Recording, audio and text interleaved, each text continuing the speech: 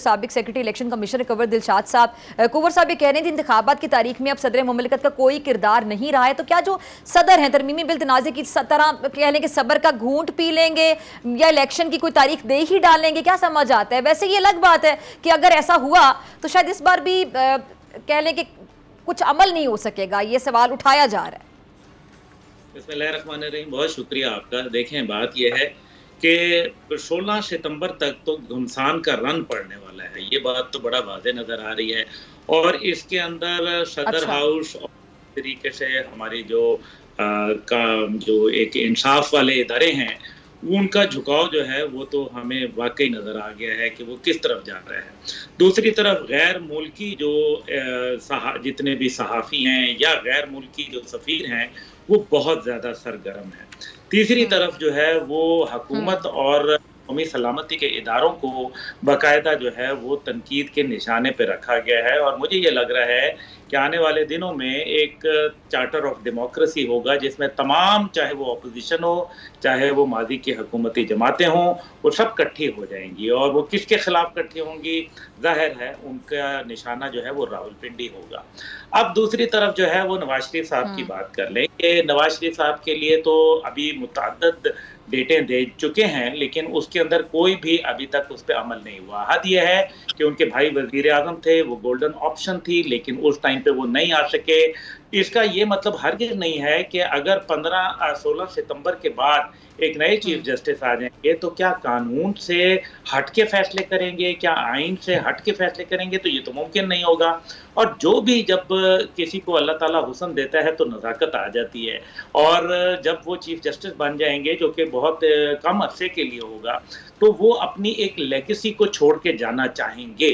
और ज़ाहिर है वो जिस फैमिली से बिलोंग करते हैं वो बहुत ही रिस्पेक्टेबल फैमिली है और उनका पाकिस्तान बनाने में बड़ा किरदार वो ज़ाहिर है उनके लिए बहुत मुश्किल होगा कोई ऐसा फैसला करना जो आइन से मुतदाद हो अब जो हालात नज़र आ रहे हैं हम्म। कि वो इतने पेचीदा बनाए जाएँगे जिसमें एक आइनी बहरान पैदा किया हम्म। जाएगा एक ऐसा बहरान जिससे जो है गैर आइनी कुतों को जो है मौका दिया जाए ताकि वो किसी सूरत अपना किरदार अदा करें। ये बड़ा ख़तरनाक अमल है और मेरे ख्याल में हम एक डेंजरस गेम के पहले ही एंटर कर चुके हैं और ये जो डेंजरस गेम है, इसका आगाज़ 20 तारीख के उस ट्वीट शुरू होता है जो प्रेसिडेंट पाकिस्तान बकायदा जो है वो करते हैं और किसको करते हैं? गैर मुल्की इदारों को जो है वो गैर मुल्की जो ममालिक हैं उनके हम्म, हवाले हम्म। से अंग्रेज़ में ट्वीट करते हैं। ये बड़ा मेरे ख्याल में एक ऐसा फेल है जिसकी जितनी भी मजम्मत की जाए कम है। अब इलेक्शन कमीशन के हवाले जहाँ सिकंदर सुल्तान राजा साहब जो है वो अमेरिकन एम्बेसडर से मिलते हैं तो वो प्रेसिडेंट ऑफ़ पाकिस्तान से नहीं मिलना पसंद करते। अब मसला ये है कि अमेरिकन अम्बेसडर जो है, अगर किसी से भी मिलना चाहे तो उसको बाकायदा मिनिस्ट्री ऑफ़ फॉरेन अफेयर्स को ख़त लिखना पड़ता है कि मैं फ़लाने फ़लाने से मिलना चाहता हूँ। डायरेक्टली फ़ोन करके डायरेक्टली जो है वो इस तरह से किसी के पास पहुँच जाना, मेरे ख्याल में ये बाकायदा हमारे जो इंटरनेशनल जो हमारे कवानीन हैं, जो कि जो सिफारतकारों के लिए हैं, उनकी खिलाफ वर्जी है। और इसके ऊपर मेरे ख्याल में सिकंदर सुल्तान राजा और अमेरिकन सफीर दोनों की जो है जवाब तलबी होनी चाहिए क्योंकि ये मुल्क की सलाह ठीक है जी।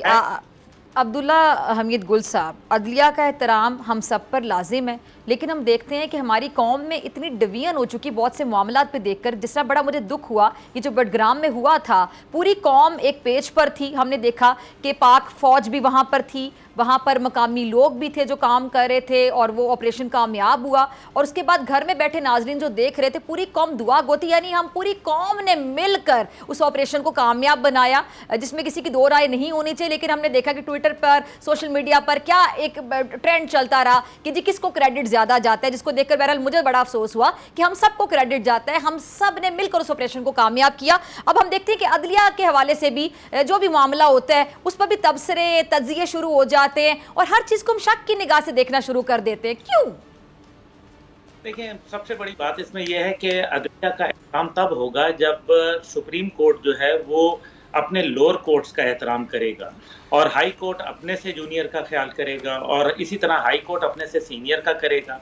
लेकिन देखने में यह आया है कि तकरीबन डेढ़ दो साल से एक सुप्रीम कोर्ट का जज जो है वो अपॉइंट नहीं हुआ।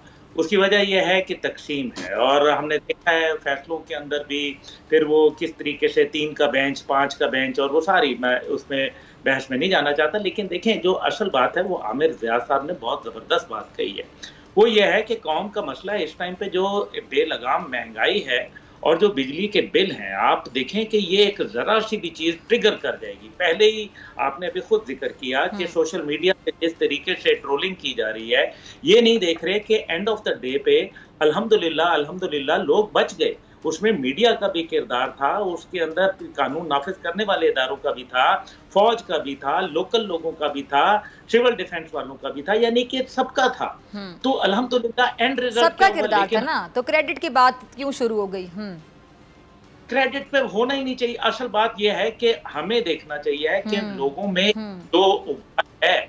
और अगर इसको महँगाई और बिजली के हवाले से मजीद ये बढ़ा तो मैं समझ रहा हूँ कि खुदा न खास्ता एक बहुत बड़ा अनरेस्ट जो है वो हो सकता है, क्योंकि जब आप किसी के पेट के ऊपर जब पत्थर मारते हैं तो फिर उसके नतज खतरनाक होते हैं। चाहे वो माजी की हुकूमतों ने किया, चाहे वो मौजूदा हुकूमत बढ़ा रही है, चाहे वो आईएमएफ की वजह से हो रहा है, लेकिन आम आदमी पिस रहा है।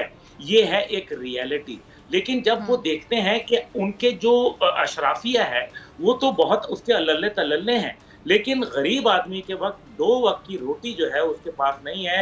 ये एक अच्छी खुशाइन बात नहीं है। मैं आज बड़ा अच्छा कि मोजिज हम्म। जो हमारे प्राइम मिनिस्टर साहब हैं उन्होंने जिरा पुल का वो इजाज़त। दे दी। लेकिन क्या एक पुल जो बनाने के लिए वज़ीर आज़म की इजाज़त होनी चाहिए? क्या ये लोकल लोगों कमिश्नर लेवल का काम जो के वज़ीर आज़म कर रहे हैं। अगर आपको ये वीडियो पसंद आई तो सब्सक्राइब करें और बेल आइकन पर क्लिक करें। सब्सक्राइब करें और बेल दबाएँ ताकि कोई खबर रह न जाए।